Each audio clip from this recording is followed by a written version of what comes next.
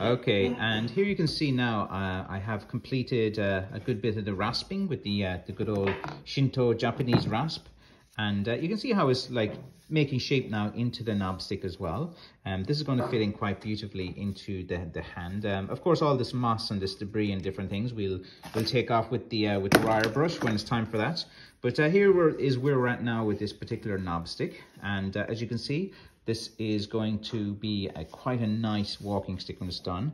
So after the rasping is done, the next stage is after to the sander and we'll, we'll tidy this up a bit so that it starts to, to look more, more like a, like a good knob stick.